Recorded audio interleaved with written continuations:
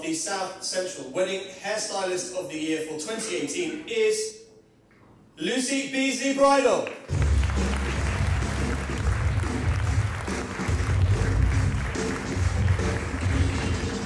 So I'm Lucy Beesley from Lucy Beesley Bridal, and I am in the Bridal Hairstylist of the Year, and I've just won it.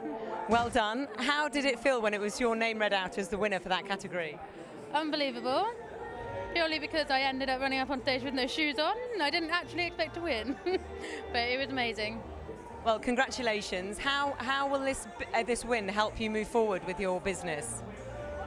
Hoping to expand area, expand sort of like maybe add some more hairstylists. It's all exciting, isn't it? Like just climbing the steps a little bit into the business.